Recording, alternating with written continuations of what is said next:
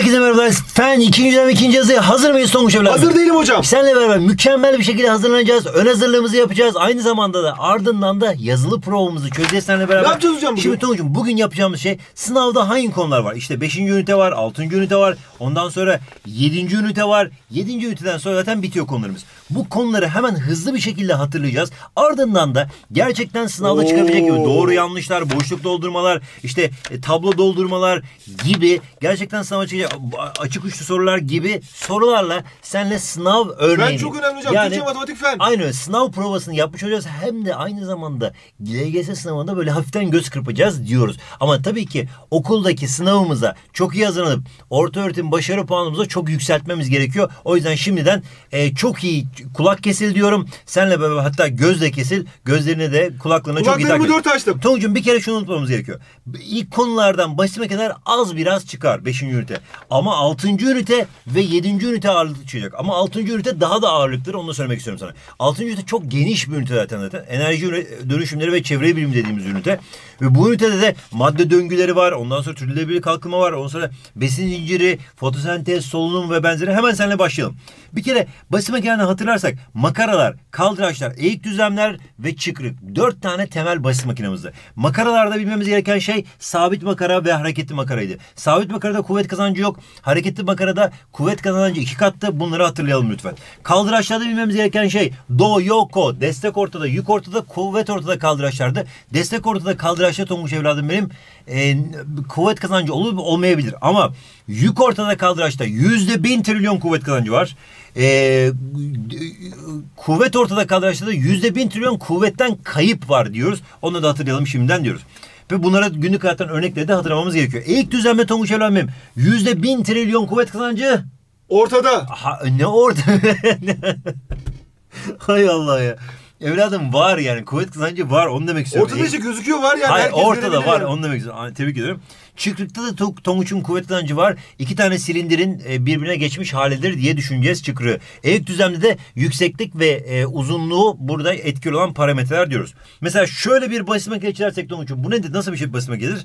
Birleşik makinedir unutmayacağız. Kompleks. Mesela bu birleşik makinede mesela şu bölüme yani şu bölüme biz eğik düzlem adını verebiliriz. Çünkü gerçekten de bir rampa gibi e, etrafımızda duruyor. Ardından Tonguç Evren benim şu bölüme biz kaldıraç adını verebiliriz. Gerçekten de içi, destek ortada kaldıraç olmak üzere şurası kaldıraç. Peki şuradaki bölüme makara adını verebiliriz. Bak şu bir sabit makara.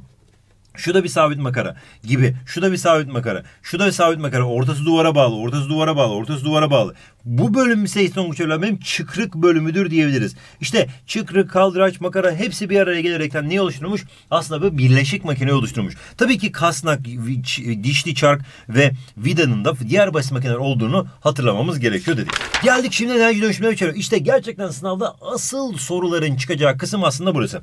Şimdi besin zinciri var. Besin zinciri neydi Tonguç Evlen benim? Güçlü olan zayıf olanı yerdi. Mesela besin zincirinin ilk basamağı neydi her zaman Tonguç Evren benim? Üreticilerdi. Üreticileri kim yiyordu? Birinci tüketici yiyordu. Birinci tüketici kim yiyordu? İkinci tüketici Herkes yiyordu. birbirini yiyor. Aynı öyle. Ondan sonra onunla üçüncü tüketici falan filan yiyordu. Unutma birinci tüketici genellikle otçuldu. Çünkü üretici yani canlı üreticilerin hepsi ot ve fotosentez yapan yani enerjisini güneşten alan canlılar olduğu için birinci tüketici genellikle ot yiyen otçuldu diyoruz. Sonrasında gelenlerse etçil şeklinde ilerler diyoruz. Mesela bir örnek verirsek ot kim tarafından yiyor? Tırtıl. Tırtıl kim yiyor? Kurbağa yiyor. Kurbağayı kim yiyor? Yılan yiyor. Şeklinde bir besin zinciri, besin piramidi şeklinde getirebiliyoruz. Ama şunu unutma. Besin piramidin yan tarafında böyle bulunan ve aslında herkesi yiyen bir şey daha var ki o da ayrıştırıcılar. İşte bu ayrıştırıcı dediğimiz şeyler bazen bakteriler olabiliyor, bazen mantarlar olabiliyor ama sonuçta bütün canlılar öldükten sonra veya artıkları veya atıkları yani mesela tırtıl pırt ya pırt değil de hani böyle e, Zort. Hayır zort değil evladım. Tırtıl mesela kakasını yaptı diyelim tamam mı? Onu kim yiyor? Ayrıştırıcılar yiyor ve onu topraktaki minerallere ayrılıyor, ayrıştırıyor. Veya kurbağa öldü diyelim. Onu kim yiyor? Ayrıştırıcılar yok ediyor, topraktaki mineralleri ayrıştırıyor falan filan. Bunları da bilmemiz gerekiyordu. Peki besin zincirinde o zaman böyle bir akış varken bu besin piramidinde de her bir bak niye alt tarafı daha geniş?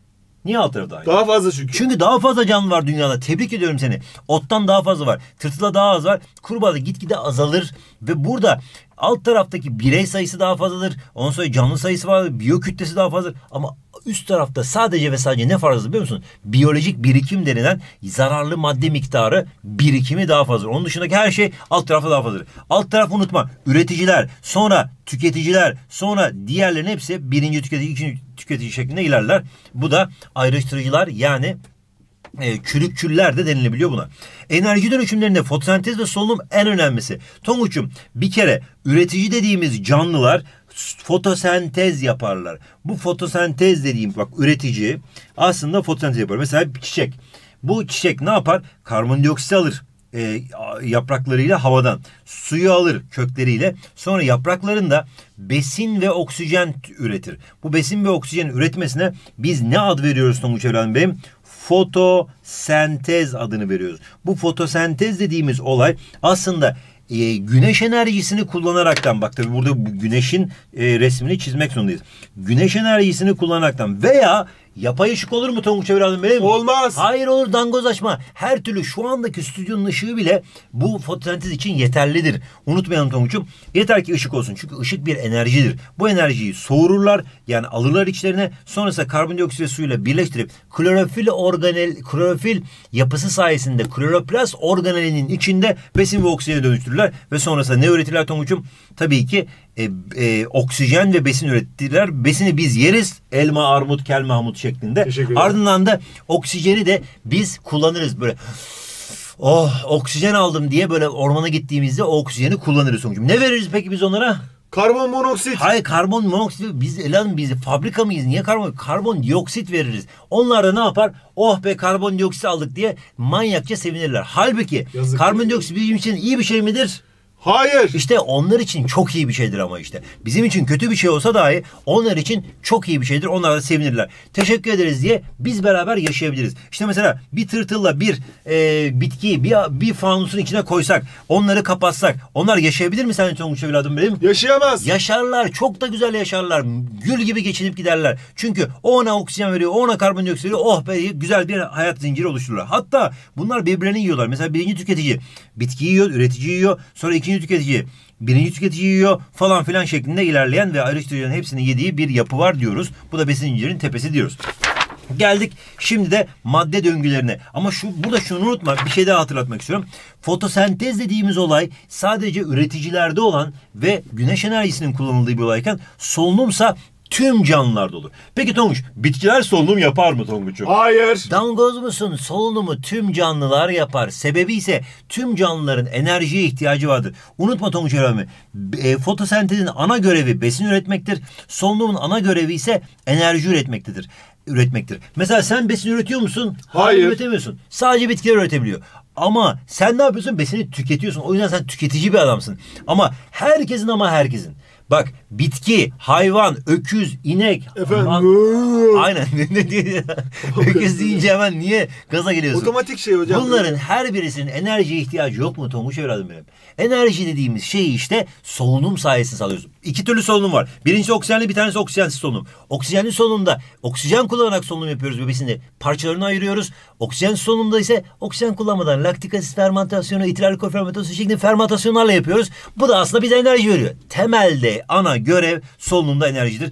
Bütün canlıların enerjiye ihtiyacı vardır diyoruz ve olayı kapatıyoruz. Geldik Tonguç'um enerji dönüşümleri ve çevre bilimlerindeki madde döngüleri konusunda. Madde döngüleri su olabilir, karbon olabilir, oksijen döngüsü olabilir, azot döngüsü olabilir. Farklı farklı döngüler var. Su dünyada çok önemli bir döngüye sahip. Su olmazsa, su dönmese ne yaparız? Susuz kalırız Allah korusun. Su nasıl döngüye sahip? İlk başta denizler. Denizlerden su buharlaşıyor. Denizlerden buharlaşan su bulutları oluşturuyor. Bulutlar şarıl şarıl bir yağmur sesi çıkar bakayım bana. Ay ne biçim Allah cezanı versin. Evet, e, şöyle bir yağmur ya. iğrenç bir ses çıkar. Hocam rüzgar sesi yapabiliyorum da yağmur tamam, sesi yapamıyorum. Yağmur böyle bir ses çıkıyor. Ondan sonra yağmur iniyor. Yağmurdan sonra ne oluyor Tonguç evladım benim? O oradaki topraktaki suyu o bitkiler alıyor fotosentez yapıyorlar. Aynı zamanda topraktaki su tekrar denizlere karışıyor. Tek, yeraltı sularını oluşturuyor falan filan şeklinde böyle bir döngü var. Ondan sonra bu su tekrar buharlaşıyor. Tekrar yağmur tekrar buharlaşıyor falan filan. Yukarı aşağı yukarı aşağı bir hareket var. Bu çok güzel bir hareket. Bu çok önemli bir hareket. Olmazsa gerçekten de canlılık olmaz. Çünkü su hayattır diyoruz. Karbonla oksijen döngüsünü bir arada düşünürsek Tonguç'um. Ben ne yapıyordum Tonguç'um? Oksijen tüketiyor muyum, üretiyor muyum? Ben oksijen tüketiyor muyum, üretiyor muyum Tonguç'um? Siz e, tüketiyorsunuz. Aynen öyle. Ben oksijeni alıyorum ve tüketiyorum onu. Ve e, bitkilerse oksijeni ne yapıyor Tonguç evladım benim? Üretiyor. Mükemmel. O yüzden bizim için çok yararlı. Beraber yaşadığımız zaman çok bizim beraber yaşayabileceğimiz bir yapıdalar. Oksijeni bitkiler üretiyor, biz tüketiyoruz. Ve biz sonuçta ne üretiyoruz? Karbondioksit üretiyoruz. Karbondioksit bitkiler alıyor. Oh be teşekkür ederiz diyor. Ben de diyorum ki ya benim atığımı zaten konuşuyorsun. Ben sana teşekkür ederim. Benim atığımı en azından oksijene çeviriyorsun ki ben de rahat nefes alabiliyorum. Ormanda yaşayan insanlar böyle birazcık daha sağlıklı olur. Neden? Çünkü daha fazla oksijen vardır. Daha az karbondioksit vardır. Dolayısıyla karbon dediğimiz şeyi de karbon dediğimiz şey sadece karbondioksit içinde mi vardı karbon evladım? Evet. Hayır patlatma insanı.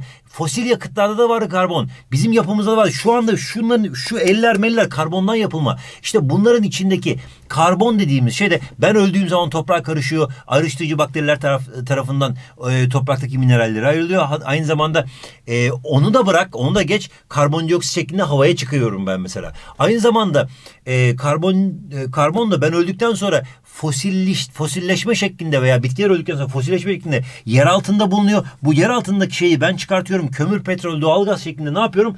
Bak e, şeyde fabrikalarda ve arabalarda yakıyorum. Petrol mesela arabalarda benzin şeklinde yakılıyor. Bunu yaktıktan sonra ne oluşuyor? Karbondioksit gazı atmosfere çıkıyor. O da neye yol açıyor? Allah korusun küresel ısınmaya yol açıyor. O da çok dikkat etmemiz gereken şeylerden bir tanesi. Azot döngüsü dediğimiz şey ise Tonguç'um acayip önemli. Sınavlarda %90 sorulur.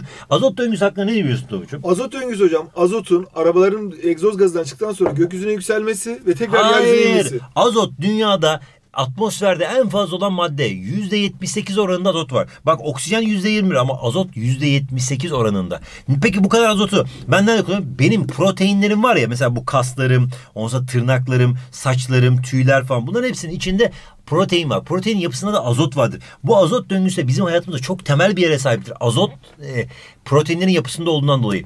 Yıldırımla, yıldırımla, şimşek olayıyla azot, havadaki azot toprağa geçebilir. Bakterilerin faaliyetleri sayesinde ölmüş canlıların e, yapısındaki proteinler azotlu bileşikler yani e, azotlu tu, azot tuzlarına ayrıştırılır. Bu azot tuzlarına ayrıştığı zaman veya havadaki azot şeklinde ayrıştırılabilir. Azot tuzları da bitkiler tarafından tekrar alınaraktan proteinli besinler ürettirirler ve biz bunları yeriz tekrar protein alırız falan filan.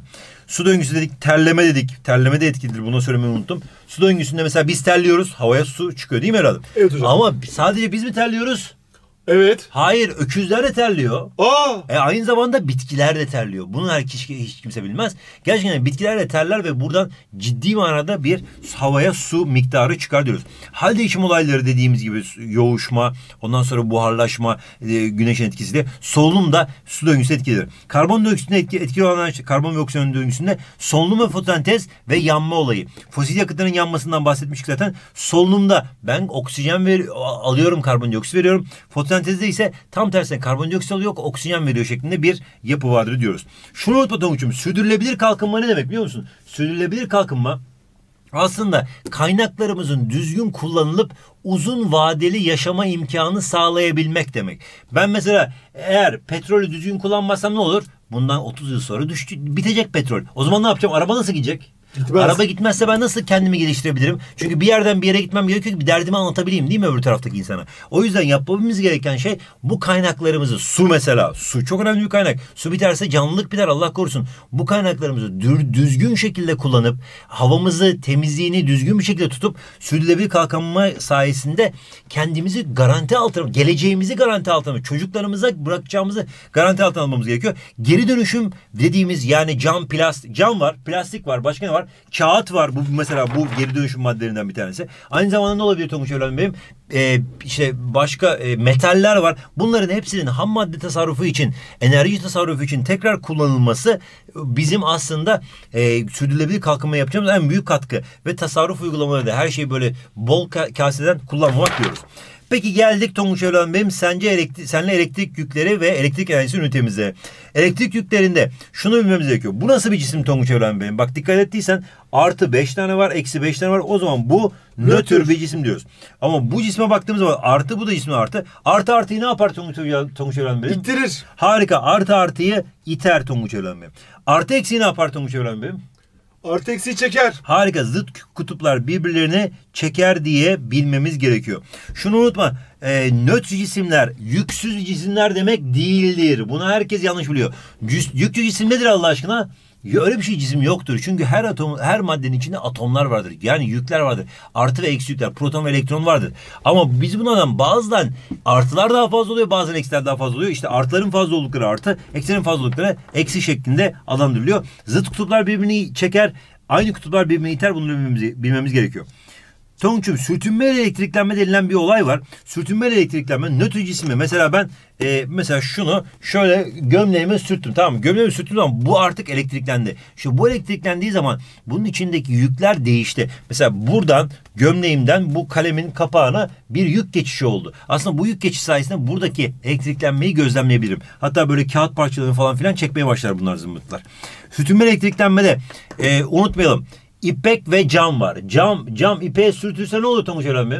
Bilmem. İpeksi, eksi, ipek eksi olur. Camda artı olur. Peki yün kumaş ebonit çubuğa sürtülse ne olur Tonguç Eren Bey?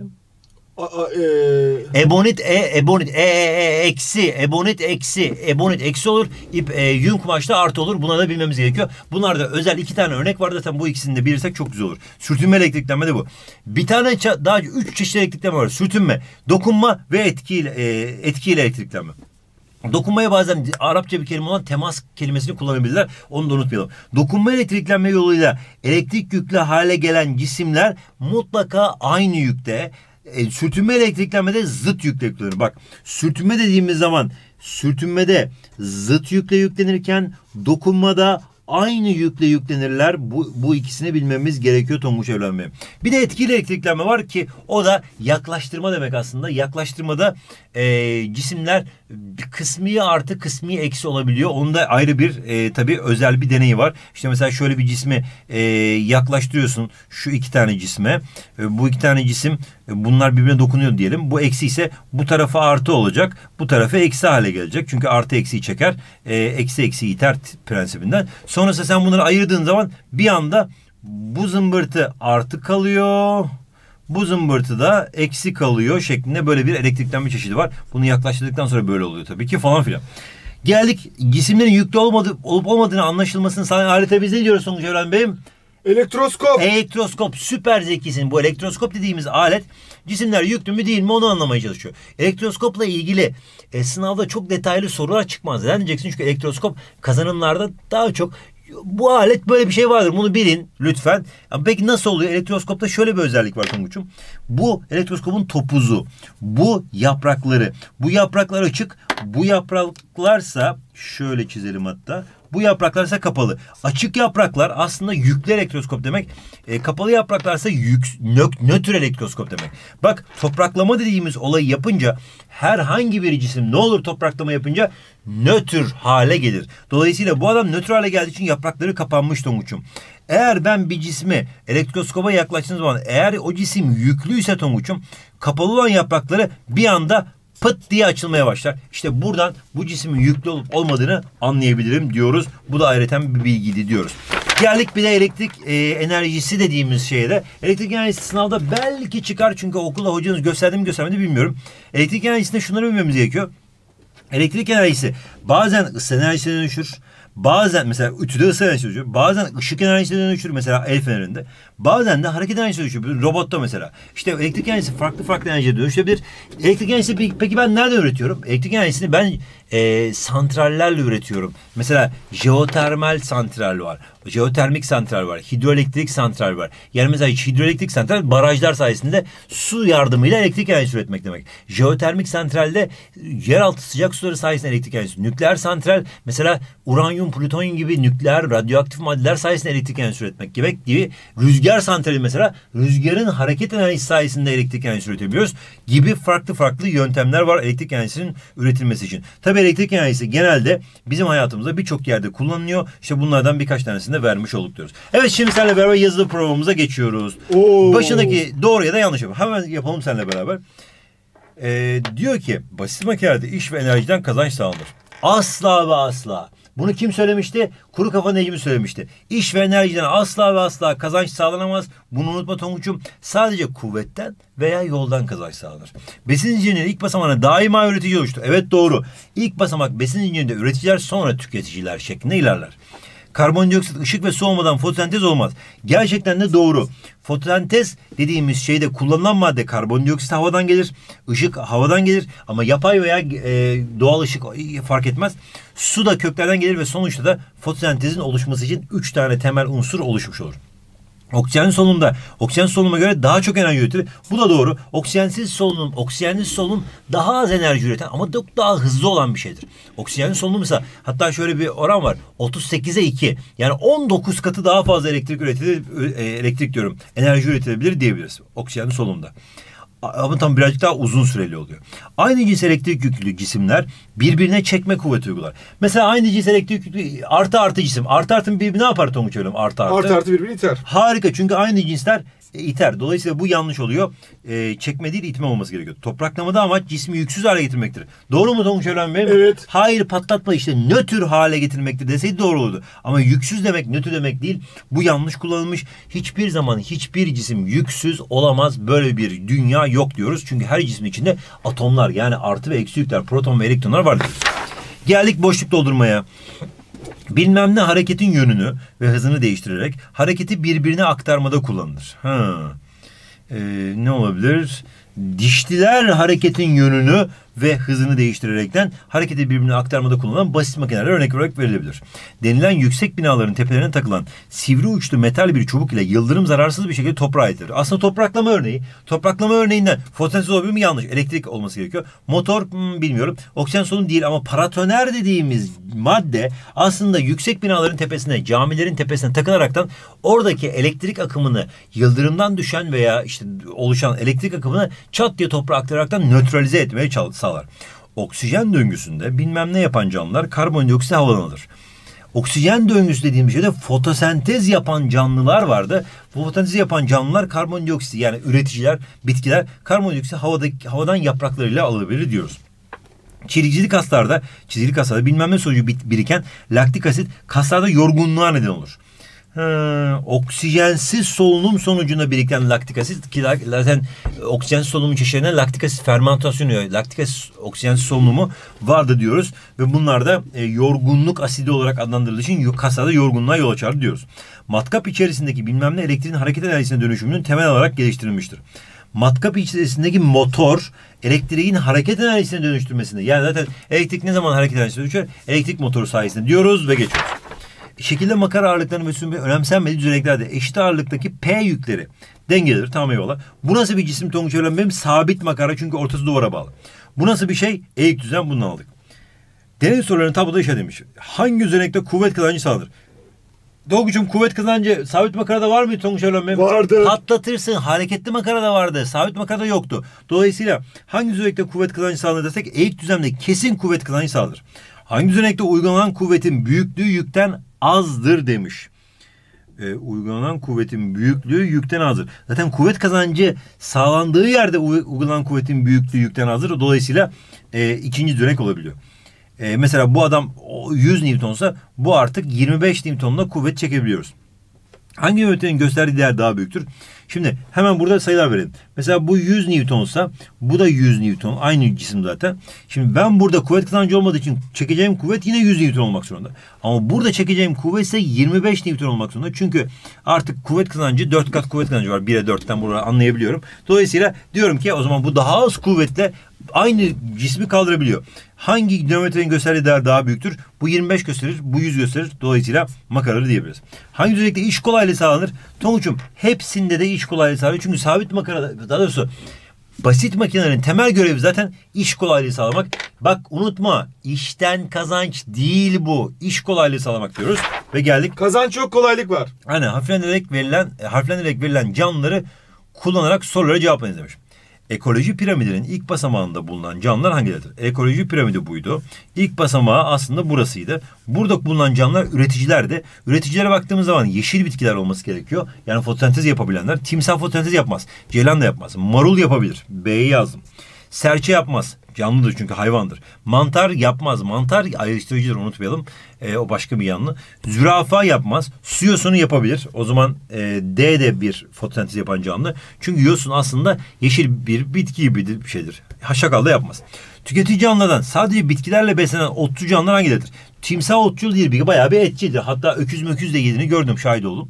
Ondan sonra ceylan Aa timsah besliyorsunuz evde. Hayır efendim belgesellerde falan. Ceylan mesela otçul bir canlıdır. Tebrik ediyorum çünkü sadece otla beslenir. Ceylan gidip de başka bir e, fareyi mareyi yemez. Sadece otlarla beslenir. Marul olmaz. Yani serçe e, serçe zannediyorum böyle şeylerle falan besleniyor. Nedir ona? Hani kurtçuklarla, murtçuklarla falan filan e, canlılarla falan besleniyor. Dolayısıyla tam otçul diyemeyiz.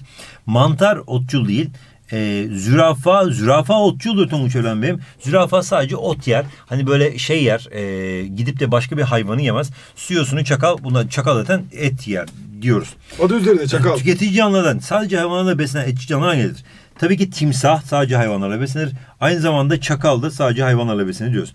Ee, serçe mesela hem bazen tohumları yiyebiliyor hem de bazen kurtçukları yiyebiliyor. Dolayısıyla hem et hem ot yiyebiliyor diyoruz.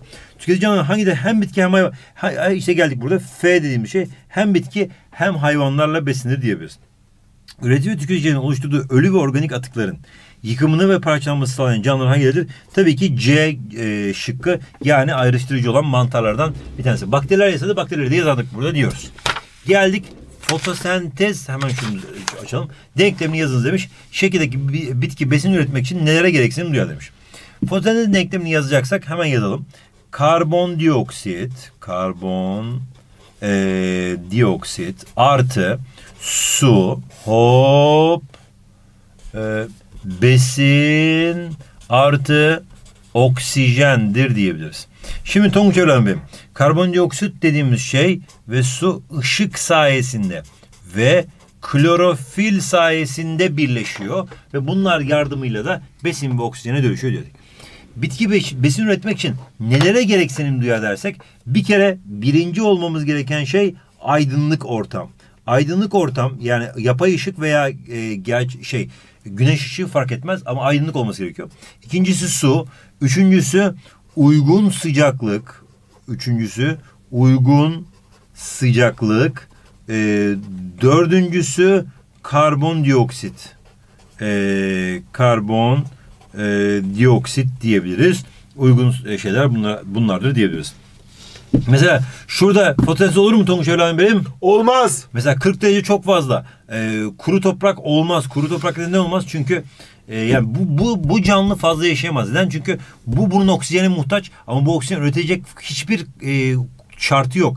Kuru toprak, su yok ortalıkta. Karanlık ortam, aydınlık değil. E, sıcaklık bayağı fazla saçmalık. E, mesela bu 60 derece olsa fotosentez tamamen duruyor. 60 derece fotosentez tamamen Sıcaklık duruyor. arttıkça fotosentez ihtimali azalır. Hayır yani tam öyle diyemeyiz. Diyemeyiz. Belli bir sıcaklık var. O sıcakta gerçekten çok güzel fotosentez oluyor diyoruz. Ee, döngüde verilen X ve Y gazlarını sırasıyla yazınız demiş. Şimdi bir kere bu bir nedir Tonguç Öğren benim ses çıkardım. Aynen. Şimdi e, e, bunun sesini çıkardın tebrik ediyorum seni. X gazını bu alıyormuş. Farklı bir yörenin koyun hocam. Y Biraz gazı. değişik aksanlı. Tonguç'un bir kere X gazını bu alıyorsa bu oksijen alır. Oksijen gazını alır. Çünkü bir hayvan e, oksijen gazı alıyor. Sonrasında ne bir gaz veriyor? Karbondioksit gazı ortama veriyor.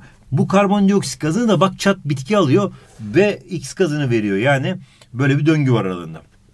Bakteriler de karbondioksit gazı veriyor. Karbondioksit gazının e, Y gazı da karbondioksit gazı diyebiliriz Tonguç'um. X gazı o zaman oksijen gazı diyebiliriz. Zaten dikkat et bak bu e, mum da X gazını oksijen gazını alıyor aslında. E, hatta mum yandığı zaman karbondioksit gazı verir. Bunları da hatırlamamız gerekiyor dedim. Geldik su döngüsüne etkili olan olayları yazınız demiş. Su döngüsünde bak Tonguç'um. Şu cisim, şu zımbırtının buharlaşması etkilidir. O zaman birinci olay güneşin veya işte dışarıdaki ışıkların etkisiyle buharlaşma olayı oluyor. Buharlaşma olayından sonra e, bir kere e, burada mesela bak burada burada ne oluyor? Bak terleme olayı oluyor değil mi? Bitkiler terliyor. Bir diğer bir olaysa terleme olayı diyebiliriz. Aynı zamanda Tonguç benim e, bitki e, şey e, bu su yukarı çıktı. Yukarıdan sonra aşağı doğru inerken yağmur yağması için tabii ki yoğuşma olayı oluyor. Yoğuşma veya yoğunlaşma yağmurun ol, oluşma olayı. Aynı zamanda bu canlılar ne yapıyor Tonguç Evlen Bey'im? Solunum olayını yapıyor. Solunumda da su verilir ortaya. Bunu unutma Tonguç Evlen Bey'im. Aynı zamanda Tonguç Evlen Bey'im bir de erime olayı da oluyor. Erime dediğimiz olayda işte bu karların erimesi sayesinde e, su döngüsünde bir tane daha bir basamak daha e, sağlanabiliyor diyoruz. Geldik küresel ısınmanın engellenmesine yönelik önerilen doğru alanları işaretleyin demiş. Ozon tabakasına zarar veren maddeleri içeren deodorant ve parfümler kullanmak. Bu yanlış bir ifade. Bunun olmaması, yapmamamız gerekiyor diyoruz. Çünkü bu deodorant parfümler kullanılırsa ozon tabakası zarar görür ve e, dünyada insanlık da aslında zarar görmeye başlar diyoruz. Fabrika bacağını ve araçlarının egzoz borularına filtreler takmak bu güzel bir ifade küresel ısınmayı engelleyecek, o zehirli gazın ortaya çıkmasını engelleyecek bir şey. Gereksiz ağaç kesimini engellenmeli ve uygun alanları ağaçlandırmak. ağaçlandırmak. Evet gerçekten de bu da çok işe yarayacak. Ağaç kesimi engellendiği sürece daha fazla oksijen ortaya çıkacak. Daha fazla ağaç sayesinde ve e, uygun alanları ağaçlandırdığımız zamansa o hava kirliliğini engellemiş oluyoruz o alanlarda. Peki geldik bir öğrenci ebonit çubuğu yün kumaşı. Ha tamam. Bir kere ebonit çubuğu yün kumaşı. Cam çubuğu da ipek kumaşı. Ebonit eksi yün artı ipek eksi cam artı oldu. Bir kere bunu anladık. Sonra sürtüyor. Daha sonra bu çubuklar aşağıdaki gibi X, Y, Z kürelerine yaklaştırıyor demiş. Bir kere ebonit neydi? Eksiydi. Cam neydi? Artıydı. Ebonit neydi? Eksiydi. Sonra bunları X, Y, Z küreleri yaklaştırdığın zaman bir kere artı eksiği ne yapar Tonguç benim? Tabii ki ee, çeker. çeker. O zaman bu adamın hareket yönleri bu şekildedir. Sağa doğru gider. Peki Y hareketine baktığımız zaman artı eksi ne yapar? Çeker. Dolayısıyla bu da sağ tarafa doğru gidecek. Ama buna bakarsak eksi eksi ne yapar? İter Tonguç'um. O yüzden bu bu tarafa doğru gitmeye çalışacak. Yani bu adam belli bir süre sonra böyle duracak. Bu adam belli bir süre sonra böyle duracak. Bu adam belli bir süre sonra böyle duracak şeklinde bir mantık çıkartabiliriz diyoruz. Geldik elektrik haritede gerçekten dönüşümle yazdınız. Elektriğin, elektriğin ısıya dönüşmesi, elektriğin vantilatörde hareket enerjisine dönüşmesi, elektriğin ise ısı ve ışığa dönüşmesi ampulde. Burada iki tane elektrik enerjisine dönüşüyor diyoruz. O zaman Tonguç senle beraber e, yazılı kampımız çok güzel gidiyor. Unutma son ben tekrar hocam? son tekrar kitaplarımızda her şeyi mükemmel bir şekilde anlataraktan bu hatta buradan da tekrar edebilirsin. Yazılı konulara da buradan bakabilirsin Tonguç'um. Her şeyi mükemmel bir şekilde anlataraktan sana sınavda yüzde yüz karşına çıkacak bölümleri aynı zamanda e, gerçekten sınav sorusu sınava benzer bir soruyla karşına getirdik. Aynı zamanda Tonguç'um yazılı kampımızdan sonra biliyorsun ki hızlı tekrar programlarımız başlıyor. Hızlı tekrar programımızı detay, hızlı veya detaylı son tekrarı yapabilirsin. Hızlı son tekrar programımızda e, hızlı son tekrar programımızda hem şöyle şunu hemen kaldıralım bir. E, hemen off. Oo. Ama, ama, evet enteresan. Hızlı son tekrar ve detaylı son tekrar programımızda burada toplamda 10 tane LGS nemesi, 6 LGS nemesi. Burada toplam 12 tane kitap, 19 tane kitap. Kaç soru çözeceğim hocam? Burada toplam 1648 nitelikli soru. Bak normal soru değil, nitelikli soru çözeceksin. Yeni nesil soru çözeceksin. Paragraf şeklinde uzun, yatay, tamamen akıl yürütme, sayısal analiz, sözel mantık e, gerektiren sorular çözeceksin. Aynı zamanda sınava en iyi çalış en iyi şekilde olacaksın. Ve burada da 1002 tane nitelikli soru çözeceksin. Ve bunlarla beraber sınava en güzel şekilde hazırlanacaksın. Bak şunu unutma. Bu bir haftada bitiyor. Bu da iki haftada bitiyor. Aslında ona göre ayarladık. Tam sınava göre son tekrarlarını yapabileceğim formata getirdik. Sen de bunlarla beraber e, bunların hepsine iyi butonuna ulaşabilirsin. Tabii bun, bunları e, çalışırken de e, şeye mutlaka dikkat et. E, programımıza uymaya dikkat et programımızla beraber mükemmel bir şekilde çalışmış olacaksın. Program Bunu da? Türkiye'de tüm Tonguç kitapçılığını ücretsiz bir şekilde alabilirsin. Bu programda da hangi gün hangi ne çalışacağını teker teker vermeye başladık. Çalıştık. İstersen saatli, istersen saatsiz, istersen günlü, istersen günsüz hiç fark etmez. Detaylı ve hızlı son tekrar programlarını uygulayabilirsin diyoruz. O zaman sen de Tonguç'um ödülü sorumuzu yap. Yorumlara yolla. Hadi bakalım sana görüyorum zaten.